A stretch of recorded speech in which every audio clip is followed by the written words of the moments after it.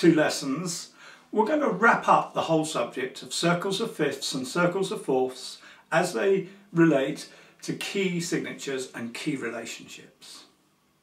Now if you've already followed through the previous two lessons, the one on the circle of fifths and the one on the circle of fourths, you could be forgiven for thinking that you've already done enough work on this.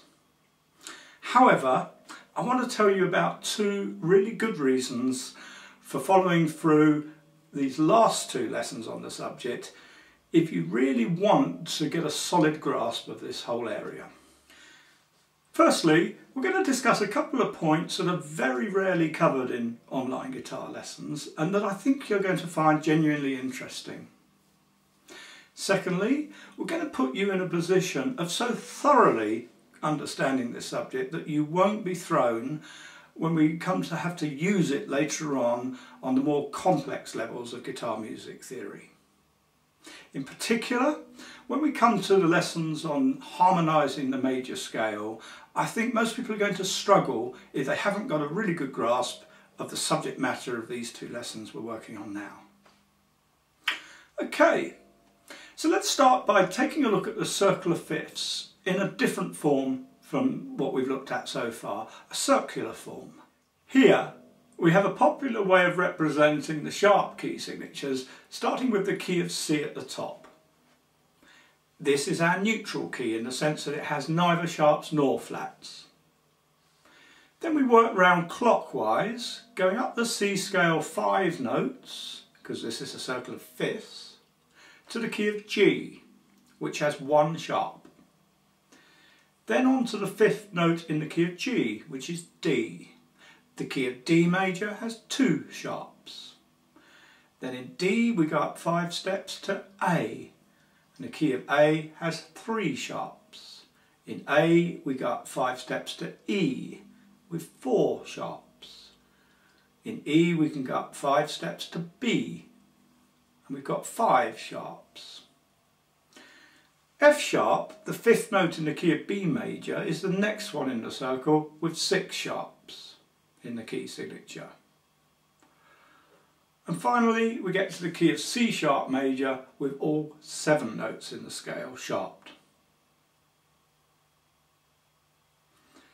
Notice that in blue writing we've also included the relative minor keys. These are keys that share their key signatures with the major key in the same segment of the circle.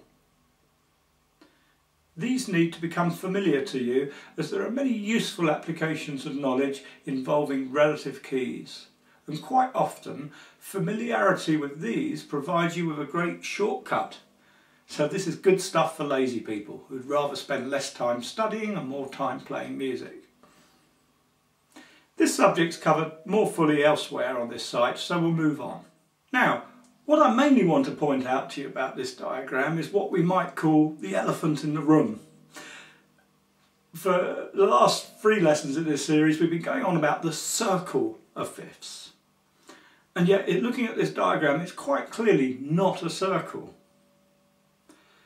Not a complete one, anyway. At least, not yet. Well, the next thing we're going to do is put that right. So we've come this far by taking each scale, stepping up five notes on that scale, and then discovering that that gives us a new scale that needs one extra sharp. So let's see what happens if we continue that process. I think we'll move over to the whiteboard to do this. So, so far we've got round the circle of fifths to the key of C sharp major.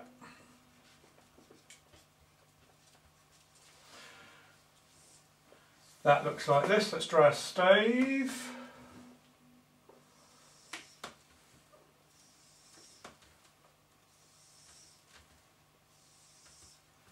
And our treble clef.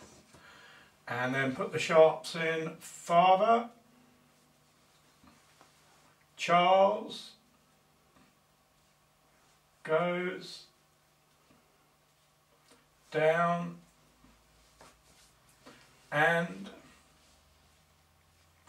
enters battle. seven sharps. So now we'll put our notes in. C, D, E, F, G, A, B, C. And we'll name them. C. Notice I always just write the letters in first. Kind of just helps you keep on track. Then apply the key signature, Father, Charles, goes down and enters battle. Now let's just number them. One, two, three, four, five, six, seven, eight. So that's as far as we got in previous lessons. But we said we're now going to just continue the same process as got us thus far. So that's taking one, two, three, four, five, the fifth letter of that key, G sharp. We bring that down here, and that's going to be our next key in the series, G sharp major. So again, a quick stave.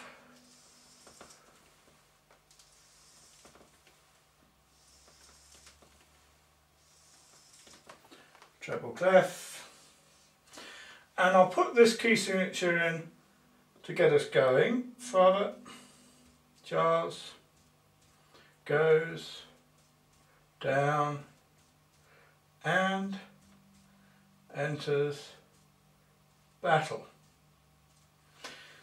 Now I'll put the notes in but starting on G or G sharp. A, B, C, D, E, F, G. Letter names.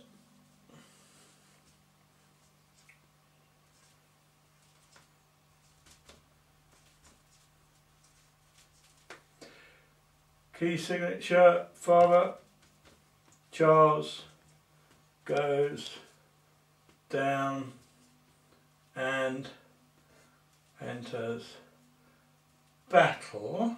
So that at the moment is still this key signature from C sharp. So if you remember what we did before with this, then as a next step we analyse the intervals between each of these notes in terms of tones and semitones and then we compare that to our major scale formula. So the gap between G sharp and A sharp is a tone. The gap between A sharp and B sharp is a tone. The gap between B sharp and C sharp, you have to think a bit carefully. B sharp is actually a note that sounds the same as C. So C to C sharp is an extra semitone on top of that. Um, so that gives us a semitone. C sharp to D sharp is a tone. D sharp to E sharp is a tone. E sharp to F sharp, another little tricky one. E sharp actually sounds the same as F natural. So again, between F natural and F sharp, there'd only be a semitone. So between E sharp and F sharp, there's only a semitone. And then F sharp to G sharp, a tone.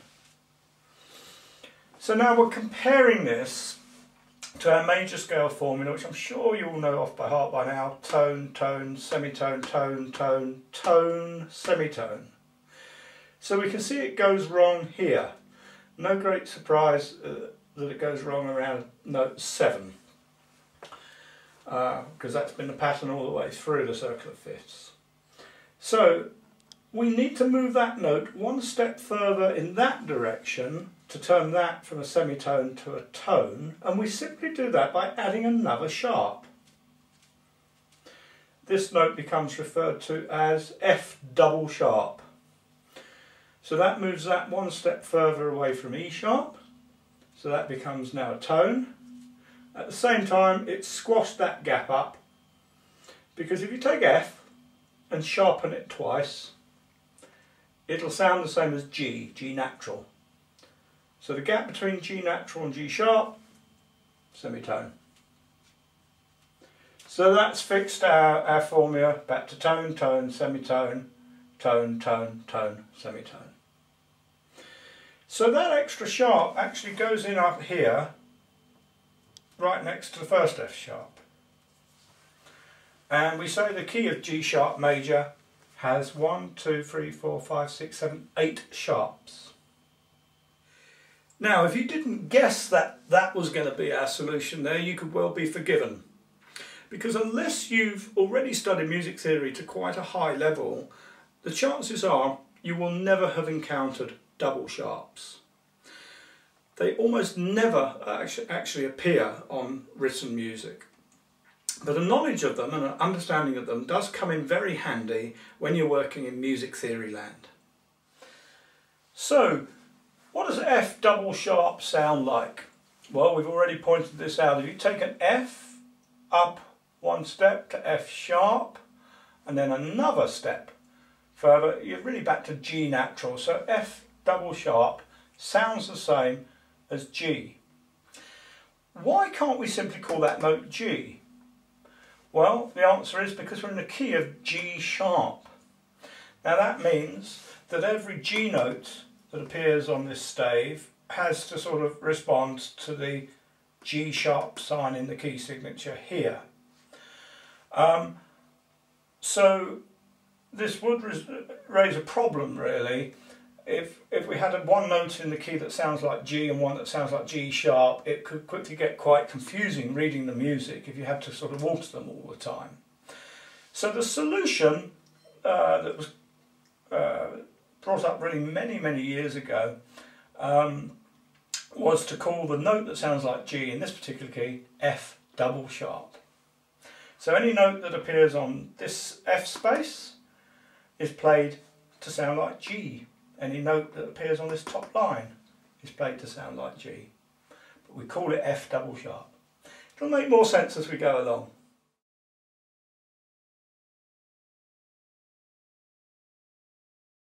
Okay, so let's move on.